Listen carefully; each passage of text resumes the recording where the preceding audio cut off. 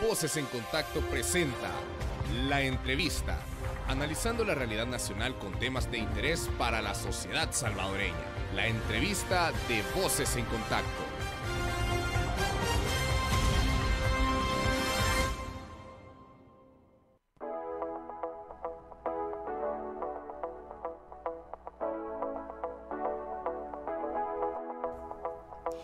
Gracias por continuar en sintonía de Voces en Contacto. Le damos la bienvenida a la entrevista. Ya le contábamos al inicio. Hoy vamos a hablar sobre la situación de los derechos de las mujeres y también sobre la marcha del próximo domingo 8 de marzo, Día Nacional e Internacional de las Mujeres. Y para esto damos la más cordial bienvenida a Jennifer Gamboa. Ella es integrante de la red de sobrevivientes y a Ari Román de Citradomes. Ambas organizaciones son parte del de, espacio de la plataforma de organizaciones de mujeres que están organizando la marcha del próximo domingo. ¿Cómo están? Buenas tardes y bienvenida. Jennifer, eh, bienvenida. Buenas noches, buenas tardes. eh, como tú dices, mi nombre es Jennifer Gamboa y soy en representación de la Fundación Red de Sobrevivientes. Hablarles un poquito sobre lo que va a ser la marcha del 8 de, febrero, de marzo, perdón, que vamos a conmemorar el Día Internacional de la Mujer. Así es. ¿Cómo está Ari? Buenas tardes. Hola, buenas tardes. Eh, un gusto de estar acá y gracias por la invitación. Antes de hablar de la marcha y de todo este proceso de organización que ha implicado el poder preparar pues esta fecha y una actividad tan simbólica en el marco de el Día Nacional e Internacional de las Mujeres, quisiera que habláramos un poquito eh, para poner en contexto a los amigos y amigas que eh, cuál es la situación y la condición en la que eh, se encuentran las mujeres y que nos hablaran desde la experiencia de cada una de las organizaciones de las que ustedes son parte. Jennifer, en el caso de la red de sobrevivientes, ¿en qué condición están las mujeres?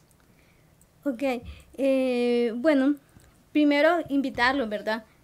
Como ya hacerles una invitación sobre este 8 de marzo, que el tema va a ser por nuestras vidas con derechos y sin violencia, nos tomamos las calles para abonar un poquito más sobre lo que es eh, las lo que es el, el, apoyo que Red de Sobrevivientes está haciendo, queremos decirles que las, las mujeres estamos, estamos siendo un poco violentadas y ese es nuestro esfuerzo eh, para, para poder dar un grano más, para poder ser la voz que lleva a, a cada una de las mujeres y sobre todo a las instituciones que pueden velar por los derechos de, de las mujeres con discapacidad, ya que podemos ver una gran cantidad de, de mujeres con discapacidad que no tienen los, los derechos o las facilidades para quizás tener un empleo o contar con, con estudios.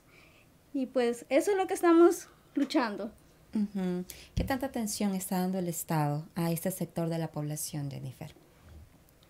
En estos momentos yo siento que, quizás tenemos un poquito de retroceso en cuanto a, al apoyo que se le está brindando, ya que si, vemos un poquito, vemos que la, la Secretaría de Inclusión Social, uh, que se, nos ha retirado un poquito, y igual en, en la, la fundación o la que con AIPED, también no tiene mucho, mucho aporte en cuanto a lo que nosotros en ese momento estamos necesitando, las personas con discapacidad, más que todo en el, en el rubro de las mujeres.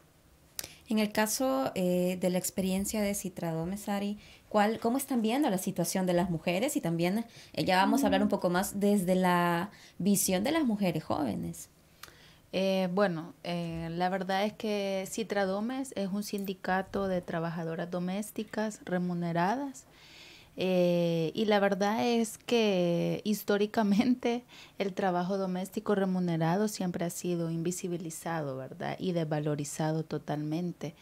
Entonces, en ese sentido, creemos de que mm, hasta el momento eh, siempre hay un estancamiento, ¿verdad? Acerca de, las políticas públicas que pueden eh, echar a andar los gobiernos de nuestro país para mejorar las condiciones de las trabajadoras domésticas. Eh, bueno, independientemente de los gobiernos que han estado al frente, eh, no ha habido una voluntad política en cuanto a la ratificación y aplicación del convenio 189, ¿verdad? Que viene a darle garantía de derechos laborales a las trabajadoras domésticas. Y bueno, eh, con la entrada de este nuevo gobierno vemos, ¿verdad?, cómo se recrudece todo todas las políticas neoliberales. Vemos de que el señor presidente tiene una visión más empresarial, ¿verdad? Para, para echar a andar las instituciones públicas y como ya decía la compañera Jennifer, vemos que desaparece la Secretaría de Inclusión Social, eh, hay un recorte, ¿verdad?, de personal y de presupuesto a Ciudad Mujer, eh, que era un proyecto que venía a beneficiar, ¿verdad?, a muchas mujeres y eh, no hay una claridad en cuanto a las políticas públicas eh, que este gobierno puede echar a andar. Y como siempre, bueno, lastimosamente y lamentablemente las trabajadoras domésticas siguen siendo invisibilizadas. Eh, y, y, mm, no solo de parte de, del gobierno, ¿verdad? Sino que también de parte de toda una sociedad ¿verdad? Porque vivimos en una cultura en donde se nos dice que el trabajo de cuidados lo tenemos que hacer las mujeres porque ese es el rol que se nos ha asignado, ¿verdad? En este sistema patriarcal. Y, y no hay esa voluntad ni siquiera eh, de parte del Estado para, para asumir, ¿verdad?, la corresponsabilidad de los cuidados. ¿Y cómo ven em, en el caso de eh, la situación de seguridad de las mujeres con la estrategia o la política de seguridad que particularmente desde el gobierno se está implementando con el plan control territorial a las mujeres que tanta seguridad se les está garantizando eh, a través de este plan. ¿Cómo lo ven ustedes? Bueno, yo pienso que hasta el momento no se le, no se le está dando como que mucha atención a este, a, este que eh, a, este, a esta población, a nosotras las mujeres, porque si, bueno, si tú te fijas, se dan bastantes casos de feminicidio y pienso que en, en algunos casos se podrían evitar. Entonces no se está dando quizás la, quizás atención o, o ayuda psicológica a estas mujeres y no se está llevando los casos que, que deberían de ser. Pienso que se podría hacer más y especialmente para las mujeres con discapacidad, ya que hay una ley para mujeres, pero en esta ley no se contempla la persona con discapacidad. Pienso que debería de haber un, apartado que sea especialmente para eso. ¿Cómo lo ven desde Citrado, Mesari? Pues lastimosamente eh, vemos que, que todos los planes de seguridad implementados por los diferentes gobiernos no han funcionado hasta el día de hoy porque mm, eh, más que todo eh, son planes de seguridad que vienen a reprimir, ¿verdad? Y quiénes son reprimidos o quiénes somos las reprimidas, pues somos la mayoría de personas empobrecidas, eh, somos la mayoría de mujeres. ¿Y cómo nos vemos las mujeres en este plan de control territorial? Pues las mujeres siempre nos llevamos la peor parte porque eh, a diario, bueno, a mí me toca que vivirlo a diario, eh, cuando voy en la calle, eh, policías, militares, em, te acosan, ¿verdad? Te acosan, se sienten con la potestad y el poder, ¿verdad? El uniforme y las armas les da el poder también, no solo por el hecho de ser hombres, sino que también tienen armas y un uniforme que los protege ¿verdad? Y se sienten con todo el derecho y la potestad para decirte cosas que vos no querés escuchar, porque vos sabés quién sos y vos sabés cómo vas vestida y no te vestís para ninguno de los hombres que hay en la calle. Sin embargo, estos cuerpos policiales se sienten con todo el poder del mundo para, para decirte, para acosarte, para decirte esos piropos que sabemos que son violentos y lamentablemente en algunos de los casos pues también son estos policías que se ven involucrados, ¿verdad? En, en violaciones a adolescentes, a mujeres jóvenes, a niñas. Eh, nada menos hoy se hizo viral, ¿verdad? Un video en donde salen unos policías en Morazán violentando eh, eh, de una forma tan brutal precisamente a una persona con discapacidad. Entonces, eh, este sí, yo quisiera hacer un llamado, ¿verdad? Contundente eh, a todas las instituciones del Estado que, que tienen que ver con la seguridad pública, ¿verdad? A que tomen cartas en el asunto, porque hoy en día la población lo dice en las calles, la población habla, las mujeres hablan, las mujeres tienen miedo que sus hijos y que sus hijas salgan a las calles porque tienen miedo que sean reprimidos y reprimidas por estos cuerpos de seguridad, porque las compañeras que, que viven a diario en las comunidades, en los barrios, pues eso es lo que se enfrentan, ¿verdad? Que tengan que ir a dejar a sus hijos a la escuela, que tengan que ir a dejar a sus hijas a la escuela porque el policía se las acosa, porque el soldado se las acosa. Entonces es bastante complicado, pues entonces, y hasta el momento no hay una claridad de cómo es que está funcionando este plan de control territorial. También la compañera ya hablaba sobre la sobre la inmensidad de casos de feminicidios y vemos a un presidente que sale diciendo que es un crimen pasional. Entonces, eh, la concepción que tienen acerca de la violencia hacia las mujeres vemos que es vacía. Entonces, eh, sí, pues es como el llamado para que, que se tomen cartas en el asunto y bueno, por eso es que también las mujeres nos organizamos, ¿verdad? Para organizar nuestras demandas, para organizar nuestra impotencia y que eso se, se vuelva un motor, organizada se vuelva un motor para ir exigiendo nuestros derechos. Y sobre eh, estas principales demandas eh, de este 8 de marzo vamos a hablar al volver de esta breve pausa comercial. No nos cambia, ya seguimos con más en la entrevista de Voces en Contacto. Te acompañas de Voces en Contacto, tu revista informativa de la red de ARPAS. Escuchas la red informativa de ARPAS. Escuchas la red informativa de ARPAS. ARPAS, transformando la comunicación desde las comunidades. Vas a cumplir 18 años. Tramita tu DUI ya. Si cumpliste 18 años entre el 31 de agosto del 2020 al 27 de febrero del 2021 y querés votar, acércate a un DUI Centro y preenrolate. Tu primer DUI es gratis y te lo entregan un día después de tu cumpleaños. Haz tu cita en línea en www.dui-mediosb.com. DUI Centro, identificando a El Salvador, Registro Nacional de las Personas Naturales y New Bauer. Para aparecer en el padrón electoral, realiza tu trámite antes del 31 de agosto del 2020. Y para usted, ¿cuál es la importancia de las emisoras comunitarias de ARPAS?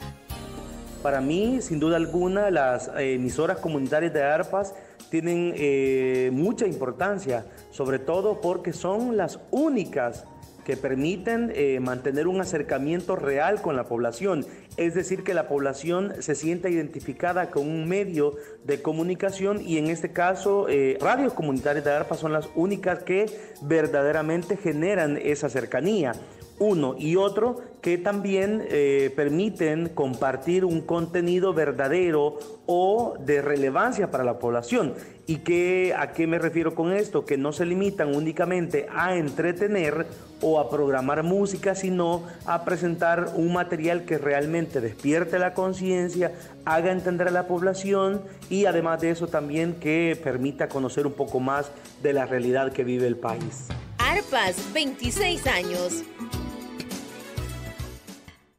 El derecho humano al agua debe ser un bien público. Demandamos una ley general de aguas. Con participación del pueblo. Para que nuestros ríos no desaparezcan. Y no sean explotados por la empresa privada. Por una gestión pública y participativa. Buxo, con tu agua. Alianza Nacional contra la Privatización del Agua. La Organización de las Naciones Unidas asegura que no tener una ley general de aguas afecta principalmente a mujeres, niños y niñas. Esto también es violencia. Por una gestión pública y participativa. Buxa con tu agua. Alianza Nacional contra la Privatización del Agua. Escuchas la red informativa de ARPAS. Escuchas la red informativa de ARPAS. ARPAS, transformando la comunicación desde las comunidades. Continuamos con la información desde las comunidades en Voces en Contacto.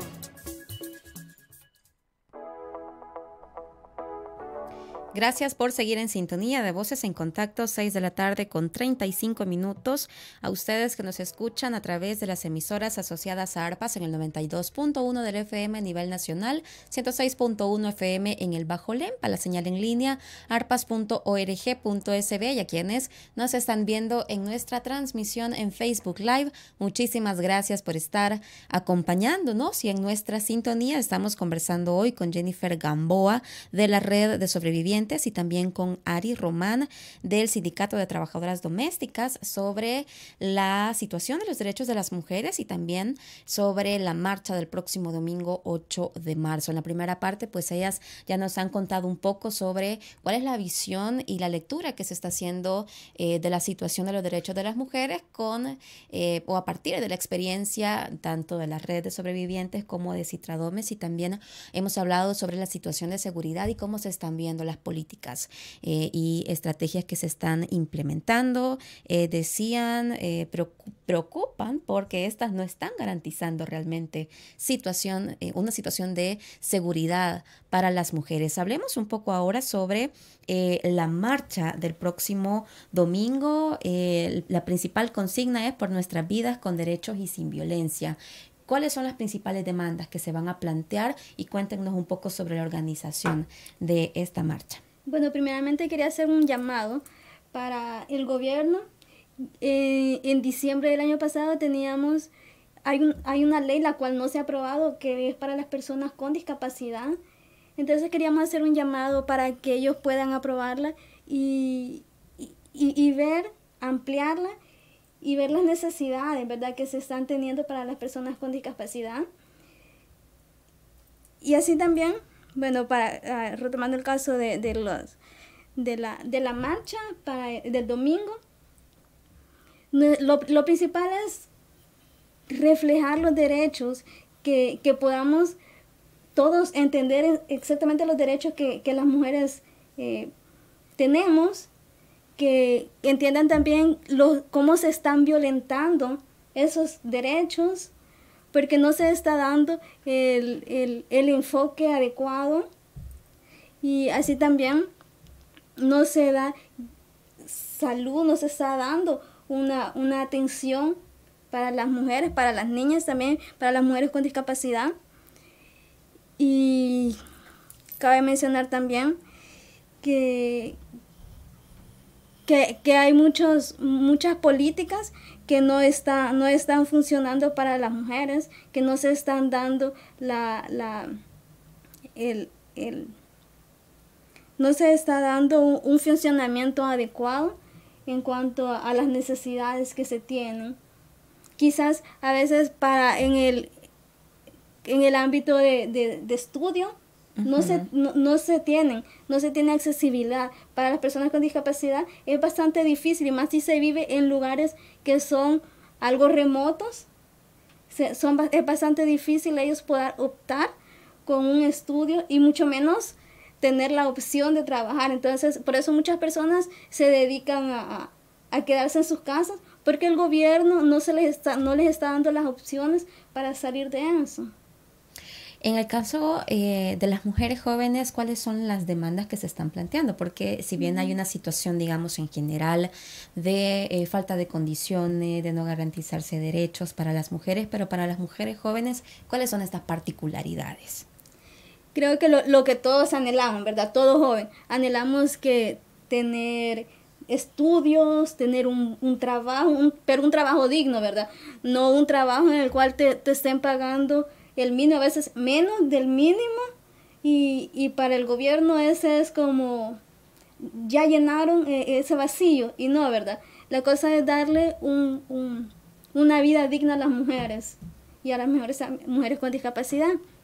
Entonces, creo que eso también deberían de, de, enfocarse bastante en nosotros los jóvenes que estamos anhelando eso, tener, tener un futuro más próspero del que nos está dando ahorita nuestro gobierno. Cuéntenos un poco también sobre el recorrido que va a tener esta marcha, además de la red de sobrevivientes, de Citradomes, ¿quiénes más participan o van a participar el próximo domingo en esta marcha? Somos 18 instituciones que, que formamos parte de, de, esta marcha. Para mencionar algunas, bueno, red de sobrevivientes, madres demandantes, mujeres transformando, ni una menos, red de colectiva de mujeres jóvenes feministas, sindicato de mujeres Febes Citradomes, colectivas feministas, entre, entre otras, que entre todas somos 18, 18 instituciones que vamos a marchar para, para hacer escuchar nuestra voz. Y no solo nuestra voz, sino que la voz de esas personas, de esas mujeres que a lo mejor no pueden hablar o que a lo mejor han sido víctimas de un feminicidio. Entonces, esa es la idea, que se pueda hablar por ellos también. ¿Cuál va a ser el recorrido de la marcha para quienes nos están escuchando y nos ven para que puedan eh, llegar, acompañar eh, esta marcha el próximo domingo 8 de marzo? La salida será desde detrás de Metrocentro San Salvador y de ahí se va, se va a hacer el recorrido hasta Plaza Gerardo Barrios. Va a empezar a las ocho y media, así que si podemos hacer 15 minutos antes para ser un poquito puntuales, sí. para ordenarse. Sí. ¿Cuál es el mensaje, Ari, también que eh, se envía en, el marco de esta fecha, decíamos al inicio, tan importante, eh, no solamente para las mujeres, sino para la sociedad en general, para que eh, los derechos de este que es la población de mayor porcentaje en nuestro país se respeten por parte de eh, el resto de la sociedad y también por parte del Estado se garanticen sus derechos. ¿Cuál es ese llamado que se hace? Bueno, sabemos que es complicado también para las mujeres, puesto que la mayor, eh, la mayor población de las mujeres es cabeza de hogar y eh, bueno, es conmemorar el Día Internacional de la Mujer. ¿Por qué? Bueno, porque allá por 1875 como alrededor de 120 mujeres murieron dentro de una maquila, ¿verdad? Por, por reclamar mejoras a sus a, a su empleo, ¿verdad? Por, eh, por reclamar esos derechos laborales, mejoras a sus salarios. Entonces, eh, las mujeres trabajamos eh, a lo largo de nuestra vida, ¿verdad? Trabajamos en la casa, podemos, hemos logrado llegar a accesar a un trabajo formal a veces, pero sabemos que también dentro de esos lugares de trabajo vivimos violencia laboral de parte de los compañeros, de parte de los jefes inmediatos, ¿verdad? De los supervisores, eh, evidenciar y visibilizar la problemática que vivimos las mujeres dentro de, de, la maquila también, del trabajo doméstico que no tiene garantizado ningún derecho, eh, y también el llamado es para que sabemos que en, las discusiones dentro de, estos preparativos que hacíamos eh, para la marcha, decíamos que no todas las mujeres pueden parar, ¿verdad? Porque la sobrevivencia es vital. Entonces, habemos mujeres, eh, más que todo las que estamos en el sector informal, que si no vendemos ese día, no podemos llevar un sustento diario a nuestros hogares. Entonces, eh, el llamado es para que, para que acompañemos, para que las mujeres podamos acompañar, no nos, quizás no yendo a la marcha, porque sabemos que eso a veces se les complica a las mujeres, pero sí desde lo cotidiano, ¿verdad? Desde lo cotidiano, por eso es la marcha también, para que haya, ahí haya una representatividad.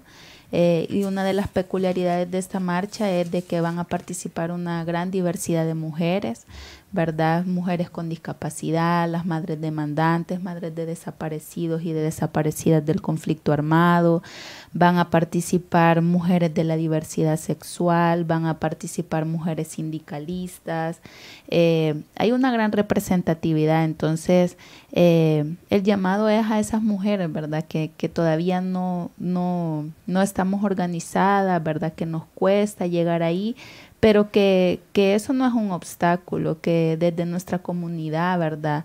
Eh, podemos, desde los barrios de las compañeras, podemos ir acuerpando a las mujeres cuando se encuentran en situaciones difíciles, ¿verdad? Ya sea de violencia, situaciones económicas, ¿verdad?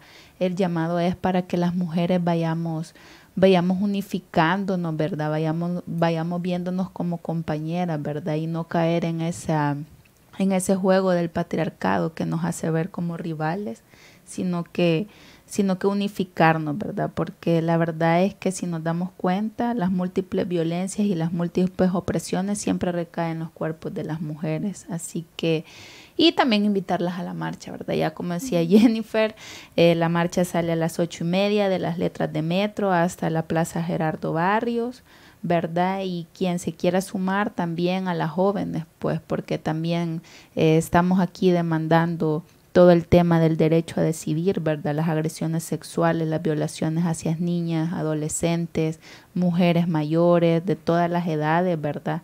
Eh, también estamos demandando y estamos en contra de toda la militarización que, como antes decía, viene a repercutir también al cuerpo de las mujeres. Estamos demandando para que dentro de las políticas públicas se incluya una política de cuidados también y así muchas eh, diversas demandas que podrán ser escuchadas en el comunicado del 8 de marzo.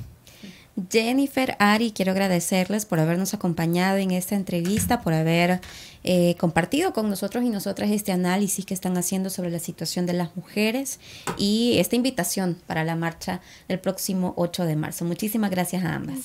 Gracias. A ustedes también gracias por habernos acompañado en la entrevista de hoy de Voces en Contacto. Que pase una feliz noche. Voces en Contacto presentó La Entrevista, analizando la realidad nacional con temas de interés para la sociedad salvadoreña. La entrevista de Voces en Contacto